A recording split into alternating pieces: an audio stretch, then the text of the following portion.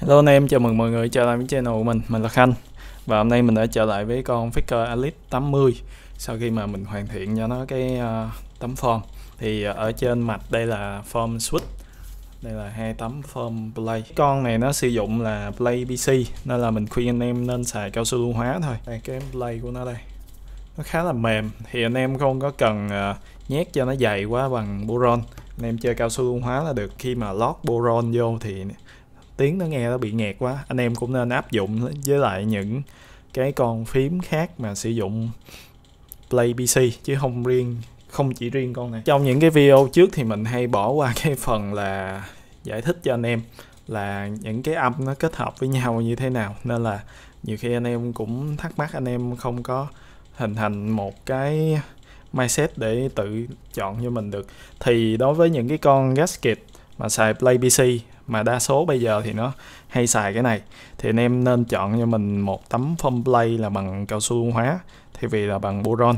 Thí dụ mà anh em chơi uh, play nhôm hoặc là play uh, play đồng nè hoặc là FR4 những cái play mà nó có cái độ cứng uh, cao á thì anh em mới sử dụng là boron cho nó tiêu bớt.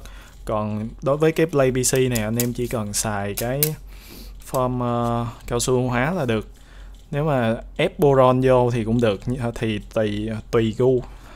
Tùy gu anh em muốn nó nó nó nó silent nhất có thể thì anh em có thể ép boron vô. Còn không thì anh em cứ xài cao su hóa để cho cái cảm giác bấm nó uh, cái tiếng nó vừa nhỏ đi nó nó vẫn trầm đục nhưng mà nó không có bị nghẹt quá. Rồi thì uh, bữa trước cái con này mình không giới thiệu cho anh em là nó có một cái form silicon đáy rất là dày. Tại vì cái bữa trước là cái con phím của anh kia là anh anh lấy cái này ra để anh test mod rồi nên là mình không có. Hôm nay mình sẽ cân cho anh em coi. Thì nó dao động tầm 230 230 233 gram. Cũng khá là nặng. Nổi cái miếng phơm không mà nó đã chiếm hết hai lạng rồi. Đó đây là cái tảng silicon đáy của nó. Thì uh, đối với con này thì mình khuyên anh em mod là phơm switch thì à, switch có ASBE hoặc là boron. Thì à, hai cái này tùy, tùy anh em. Rồi cái foam play nữa như hồi nãy mình nói thì anh em có ưu tiên chọn là cao su hóa. Rồi còn cái foam cây thì anh em xài là cái này nó không có bị tịch đâu anh em chỉ cần thay hai cái foam này là được. Đó. Anh em bỏ cái tấm này đi là nó hết bị tịch rồi ở đây nó có mấy cái miếng uh, nó làm giả giống như là foam suit á. Đó. nó có mấy cái chân ở mấy cái góc nè. Anh em bỏ hai cái tấm foam lay silicon này đi là nó đỡ tịch nhiều rồi. Thì anh em cũng áp dụng đối với những con khác như là con MK870 nó cũng có một cái tấm foam silicon rất là dày. Cái tấm đó nó thậm chí là nó cứng hơn cái tấm này nữa. Silicon này là dạng silicon dẻo nè. Còn tấm của MK870 nó là dạng silicon cứng và dày cái đó cái đó thì nó làm tiếng nó tịch đi nhiều hơn này nữa. Rồi thì cũng như những cái video ờ, trước mình uh, hướng dẫn anh em á, thì anh em nên lắp vài con switch lên trên cái play trước. Đối với uh, những cái ca anh em làm mà anh em có sử dụng form switch rồi xin anh em áp cái mạch lên. Thì nó ăn cái form switch vô nó ngay ngắn hơn. Ở đây thì mình sử dụng là con uh, con này là con uh, ở trên cái vỏ nó có chữ LZ LCET L, LZ con này uh, tên là Sweet Orange. Thì mình dịch từ tiếng Trung. Mình xài Google dịch mình dịch từ tiếng Trung ra thì nó dạng giống như là cam cam sành. Sau khi mà lắp rồi thì anh em bỏ cái form lay này lên đôi lúc mình lắp mình cũng bị lú không nhớ chiều cái form uh, cao su hóa thì cắt ra nó thường bị uh, đen đen dính dính cái tay nè. Nên khi mà anh em làm thao tác lúc mà anh em lắp á thì anh em nên để cái kit kit của mình để qua một bên. Tại vì kit này là kit trắng. Đó anh em anh xem lắp lại hết xong rồi anh em đi rửa tay anh em mới lắp cái kit lên anh em mới cầm vô cái kit nha. Anh em lưu ý.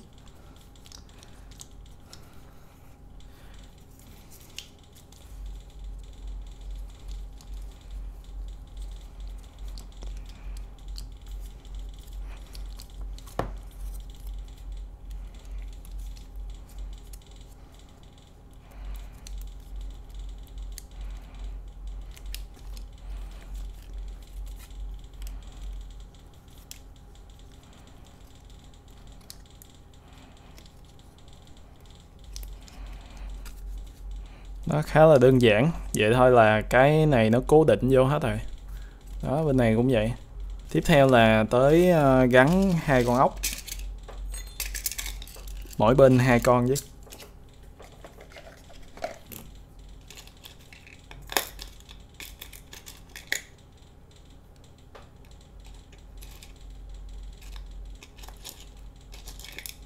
Anh em nên xài một cái tua vít nó có cái đầu uh, cái đầu, cái cạnh nó dài vô tí xíu, tại vì cái con ốc này nó hơi nó hơi bị dễ tuôn cái đầu, tại vì nó khá là nông.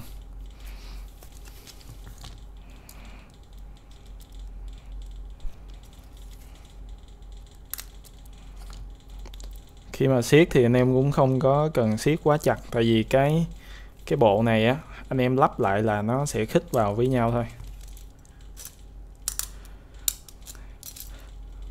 Mình nghĩ là anh em nên sử dụng cái form silicon của nó để nó đẩy cái mặt lên. Chứ hôm bữa cái kit của anh kia thì không có cái form đáy bằng silicon. Khi mà ấn xuống cái nút volume nhấn không được. Tại vì là nó bị sụp xuống. Chỉ có vặn được thôi, chứ ấn xuống để miêu thì không được. Cái bộ stab của con này mình rất là ưng. Nó thẳng băng à thì trước khi quay cái clip này mình có lắp form vô một lần để mình test bằng cái con KTT Matcha. Và mình sao test cái con này rồi. Thì ở cái phần sau mình sẽ lồng vô là hai khúc sao test là vừa con này lẫn con KTT Matcha. Cái đợt đó phong switch thì nó chưa có hoàn thiện được như vậy. Nó vẫn còn méo nhiều lắm. Đó. Giờ thì nó ok rồi. Đó anh em thấy được cái độ cong của nó nè.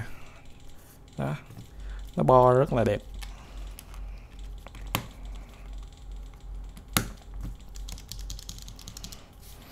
Hôm bữa trước lắp cái con KTT matcha vô thì mình thấy cái âm của nó nó chưa có được. Lắp lên cái kit này thì nó hơi bị tịch. Nó hơi bị tịch thiệt. À, mình đổi qua mình chơi cái con này để cho cái khất nó tròn và stem dài, nó có âm bottom out gõ nghe nổ hơn. Và nhìn chung cảm giác gõ trên con này rất là thích. Rất là tốt.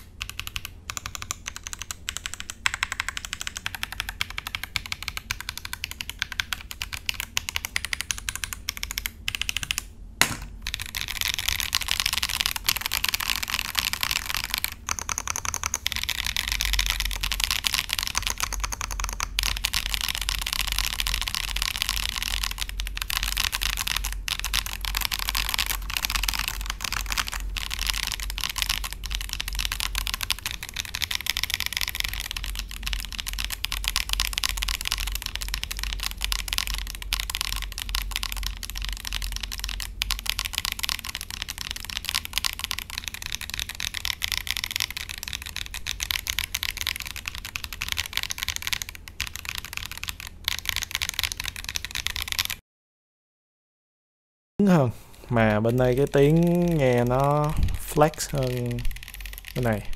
Tiếng bên này nghe nó cứng hơn. Đó tiếng bên đây nó không có cái chiều sâu như bên này. Bên đây âm nó đi xuống được hơn nè. Tiếng bên đây thì nghe nó cứng hơn ở dưới nó nó nông thì nghe cái tiếng nó sẽ gọn lại. À, anh em có thể cảm nhận nè, bên đây nghe nó sâu hơn nè. Bên đây nghe tiếng nó nồng hơn. Khi mà lên video thì nhìn nó khá là trắng. Nhưng mà cái con kit này nó nó sẽ không có trắng tinh. Sẽ không có trắng tinh như vậy. Mà nó sẽ hơi ngã màu ngà.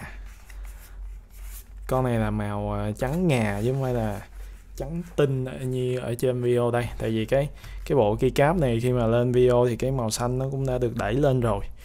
Đó chứ cái con này màu ở ngoài thì nó sẽ hơi sẫm hơn trong video. Mình đang nhìn qua màn hình em là mình cũng thấy rồi. Thì anh em nên chọn cho nó một cái bộ keycap. Uh, nó không có đi qua cái tông màu trắng tinh quá nên có thể chọn những cái bộ màu ngà ngà. Nhưng mà nó cũng không có ngà quá như bộ SMI thì đây là một lưu ý mà anh em lựa chọn keycap cho con này. Thì mình nghĩ tốt nhất là anh em nên chơi một nếu mà anh em chơi kiếp màu trắng anh em nên chơi một cái bộ keycap màu khác hẳn luôn.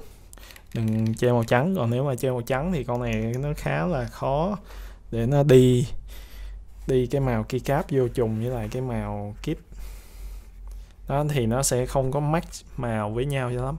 Ở cái góc này thì anh em có thể thấy là cái space của mình, nó là màu trắng ngà, còn cái màu trắng của cái kit nó không hẳn là trắng tinh nhưng mà nó lại trắng hơn cái thanh space đó, nên là nó khá khá là khó đi vô cùng màu. Nên là anh em kiếm một cái bộ à, keycap màu khác hẳn luôn đừng là màu trắng thì sẽ dễ chơi hơn. Còn tổng quan về con này thì à, nếu mà anh em mua ở trên chợ thì có, có thể là kit một khoảng 1 triệu 7 triệu 8 còn à, nếu mà mua ở shop á, thì họ sẽ bán là full kit khoảng gần 3 triệu. À, full full phím luôn là khoảng gần 3 triệu hoặc là kit là tầm 2 triệu hay triệu mốt gì đó tùy shop bán. Thì đối với cái tầm giá này thì anh em mua được một con layout Alice mà 3 mod rồi có mặt xuôi nè đặc biệt là mặt xuôi. con này mặt xuôi chứ mà hồi trước mình gọi cái con uh, Alice á, mặt ngược. Trời nó cực kỳ khó chịu luôn. Với lại cái cây của nó làm không có ngon nó, nó bị kêu ập ẹp ập ẹp á. Con này thì nó cũng đỡ hơn nhưng mà nó vẫn khá là lỏng lẻo em vặn là nó đi hơi nhiều. Rồi còn về cái độ cong thì nó sẽ bè ra hai bên thì khá là gõ rất là thoải mái. Cái âm thì nó chưa được đều lắm. Ở trong cái video trước có một bạn uh, comment ở phía bên dưới á, thì bữa trước là mình gõ ở trên cái con ờ, uh, KTT Matcha.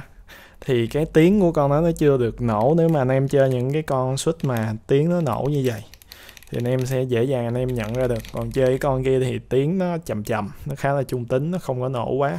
Nên là khi mà gõ, nó sẽ không có lộ ra là cái tiếng hai bên nó không đều như vậy. Đó, nay mình lắp cái bộ này để sao test cho nó thực tế hơn, thì mình nhận ra là cái tiếng bên đây nó sẽ sâu hơn, cái tiếng bên đây nó nông hơn rồi gần mấy cái chỗ này tiếng nó sẽ bị cứng. Gần mấy khúc gasket á, thì nó cứng. Nhưng mà nhìn chung khi mà lắp cái lắp cái form đáy vô thì con này nó vẫn flex nhiều. Đó, khi mà ấn xuống thì anh em có thể thấy mấy cái nút khác nó bị kéo xuống nè. Thì trên video nhìn nó sẽ không rõ, thực tế anh em bấm anh em sẽ thấy. Rồi, mình vẫn khuyên anh em nên mua cái kit này nếu mà anh em muốn trải nghiệm. Con này ngoài à, hot swap rồi à, led RGB thì nó có một cái app. Cái app của nó map cũng khá là mạnh.